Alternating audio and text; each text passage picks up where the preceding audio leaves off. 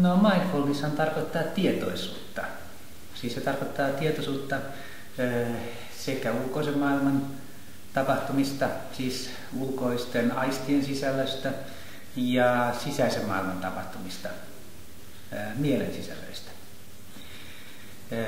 Yleisemmin sanottuna mindfulness on, on, on buddhalaisen psykologian yksi keskeistä käsitteistä, ja se on niin buddhalaisen kahdeksanosaisen keskitien polun seitsemäs askel. Nykyään aika paljon puhutaan mindfulness-harjoituksesta erilaisten terapioiden yhteydessä, koska, koska mindfulness, voi sanoa tämän tyyppisestä mielen harjoittamisesta on tullut, on tullut jonkinlainen muoti, muoti-ilmiö nyt lännessä. Ja tähän liittyy semmoisen yleisempään kuvioon, kuinka, kuinka 1970-luvulla tällainen yhdysvaltalainen lääkäri John Kabat-Zinn kehitti oman tällaisen stressinpoistomenetelmänsä, jossa hän käytti hyväkseen, tai johon hän liitti buddhalaisen meditaation ja, ja mm, intialaisen joogan. Ja näiden yhdistelmästä hän sai, hän sai sitten tällaisen, tällaisen stressinpoistomenetelmän aikaiseksi ja hoiti sitten tämän menetelmänsä avulla hyvin tuloksekkaasti erilaisia stressihäiriöistä, psykosomaattisista häiriöistä kärsiviä ihmisiä. Ja tätä menetelmää tutkittiin, tutkittiin ja, ja saatiin myös hyvin positiivisia tutkimustuloksia siitä, että tämän tyyppinen lähestymistapa tapa on, on hyödyllinen. Ja aika nopeasti myös sitten Yhdysvalloissa kehitettiin mindfulness-based cognitive therapy, ja muita psykoterapian muotoja, jotka perustuu tähän samaan mielen harjoittamisen lähtökohtaan.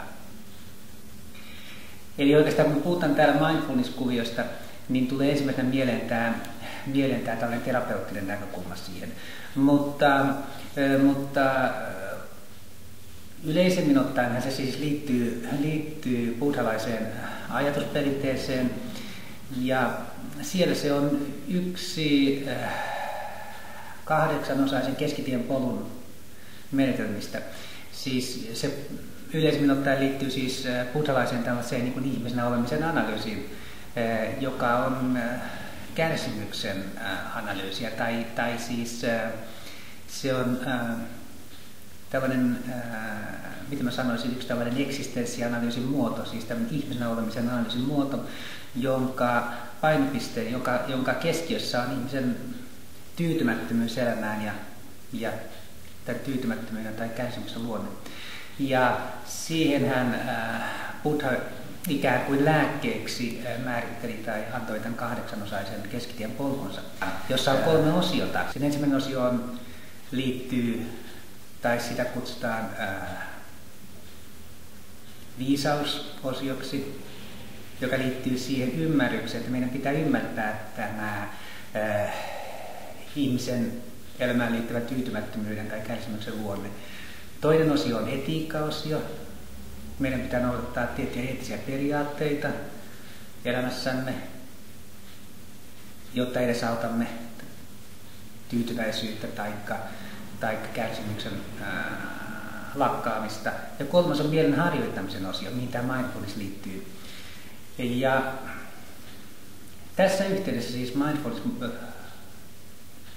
pitää ymmärtää, ymmärtää osana hyvin tämmöistä laajaa buddhalaista ajatusperinnettä, missä päämääränä on yleensäkin ottaen tällaisen inhimillisen kärsimyksen ymmärrys ja analyysi ja, ja sen hoitaminen.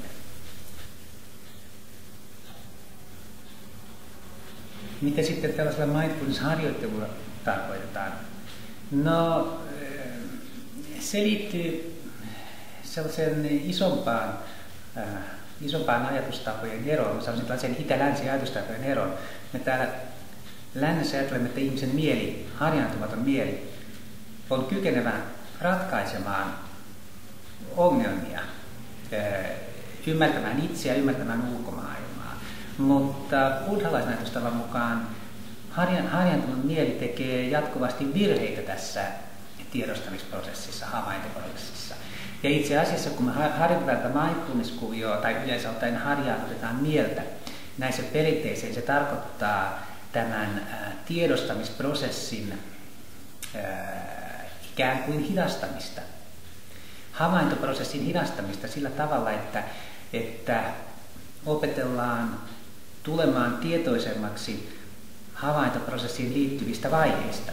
E, hyvin nopeasti sanoen voisi, voisi, voisi tätä havaintoprosessia ja sitä, miten siitä syntyy toimintaa, analysoida viiden vaiheen tai viiden askelman kautta. Jos mä haluan ottaa tämän kellon käteeni tästä ja tuota, aloittaa tällaisen istumistuokion lyömällä äänen tästä kellosta, niin, niin miten, miten, miten mä siihen menen? Ensinnäkin mun pitää tahtoa alkaa tämä toiminta. Ensimmäinen niin kuin tietoisuuden akti on tahto, tahdon akti. Eli mun pitää tahtoa ottaa tuo kello käteeni. Tämä on muuten tämä tahtomiseen liittyvä asia. On aika lailla laiminlyöty tästä länsimaisesta mindfulness ymmärryksestä, tai siis se ei tule kovin hyvin esiin. Siihen tahdon harjoittamiseen liittyy todella monia asioita. Siis tahtoa harjoitetaan näissä perinteissä, niin buddhalaisissa perinteissä, hyvin, sanoisin voimakkaasti kehon kautta, tämän kehon asennon kautta.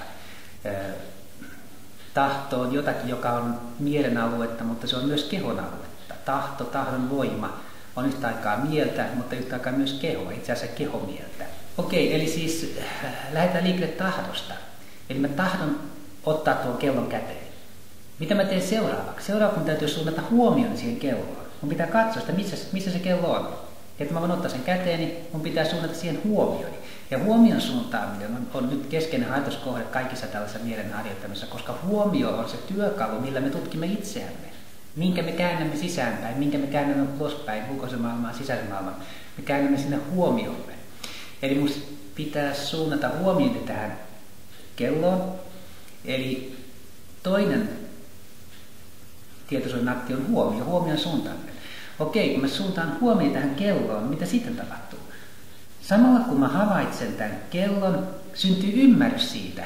Syntyy tää, tällainen kellon käsite. Mä oon, mä oon käyttänyt tätä kelloa aikaisemminkin. Mä tiedän, mitä tällä tehdään. Eli syntyy tämän kellon käsite ja ymmärrys siitä, mikä tämä kohde on. Eli huomio, ymmärrys. Ymmär, ymmärrykseen liittyy ymmärrys siitä, mitä sillä tehdään. Mä tiedän, että mä otan tuon käteen, niin nostan sen ylös, lyön sitä, siitä syntyy tuo ääni. Eli ymmärryksestä syntyy toiminta. Eli mä otan sen kellon käteeni, tietoisesti, nostan sen ylös ja aloitan sen session.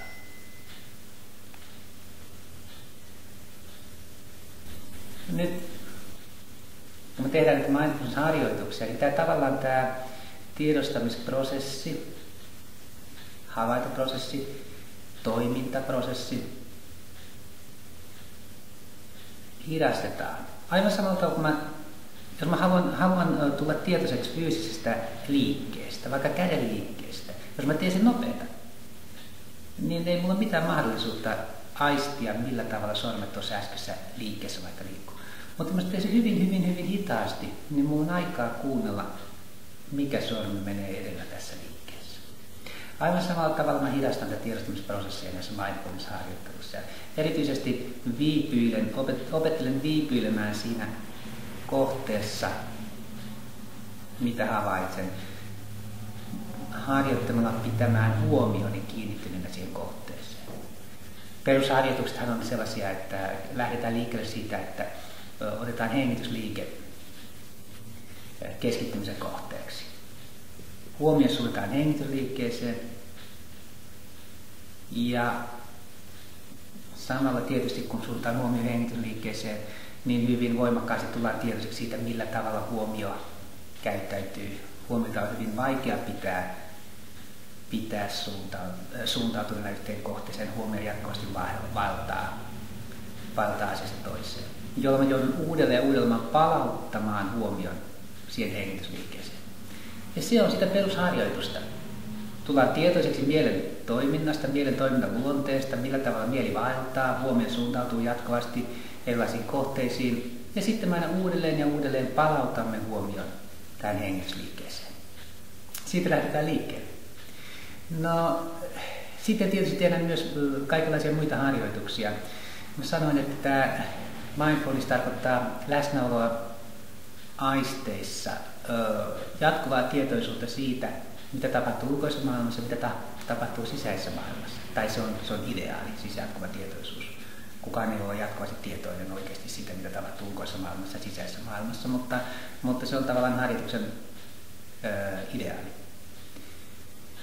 E, eli silloin me tehdään sellaisia harjoituksia, missä, missä otetaan tietoisesti jotakin tapahtumia, arjen askareita ja, ja pyritään keskittämään niihin huomiomme.